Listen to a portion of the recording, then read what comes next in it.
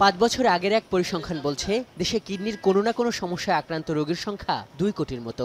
যার মধ্যে কিডনি বিকল রোগীর সংখ্যা প্রায় চল্লিশ হাজার। কিন্তু বাস্তবতা হলো, ব্যয়বহুলে চিকিৎসার সুযোগ আছে মাত্র পঁচিশ শতাংশ রোগীর। কিডনি বিকল রোগীদের জন্য অপরিহার্য ডায়ালাইসিস।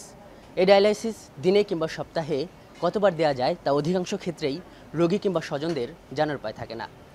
সম্প্রতি রাজধানীর একটি বেসরকারি হাসপাতালে বিশ দিনে তেইশ বার ডায়ালাইসিসে রোগী মৃত্যুর ঘটনায় এখন প্রশ্ন উঠেছে।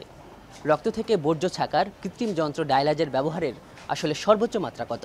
যার যখন কিডনি ফাংশন মাত্র দশ ভাগ ভালো থাকে সেই সময় ডায়ালিসিসের প্রয়োজন পড়ে। কোয়ালিটি ডায়ালিসিস বলেন তাহলে সপ্তাহে তিনবার করা উচিত। কিছু বায়োকেমিক্যাল প্যারামিটার আছে যেটা দেখে বুঝে যে তাদের দুই সপ্তাহে দুইবার করলে ডায়ালাইসিস এডিকুয়েট হচ্ছে না তখন তাকে সপ্তাহে ম্যাক্সিমাম তিনবার ডায়ালাইসিস করলেই হয়ে যায়। কখন যদি রুগীর হার্ট অ্যাটাক হয় তার সঙ্গে যদি কি তার কিডনি ফেইলরও থাকে তখন আটচল্লিশ ঘণ্টা পরে তার যখন হার্টটা একটু স্টেবল হয় আমরা একটা স্পেশাল ডায়ালিসিস দিতে পারি যেটা বলে স্লেড আইসিইউতে থাকা অতি সংকটাপন্ন রোগীকে ডায়ালাইসিস করা যায় না বলেন এই দুই চিকিৎসক। অতি মুনাফার লোভে মৃত ব্যক্তিকে বিশেষ পরিচর্যার কথা বলে হাসপাতালে রাখার সমালোচনা করেন তারা।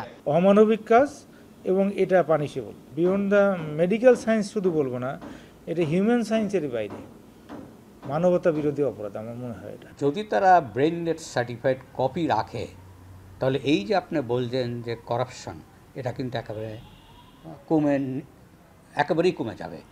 কারণ যখনই তার ব্রেন ডেট হবে সে ডেড এমন অবস্থায় হাসপাতালগুলোতে ব্রেন ডেথ সার্টিফিকেট প্রদান ব্যবস্থা চালু করার পরামর্শ দেন বিশেষজ্ঞ চিকিৎসকরা। আজহার লিমন সময় সংবাদ ঢাকা।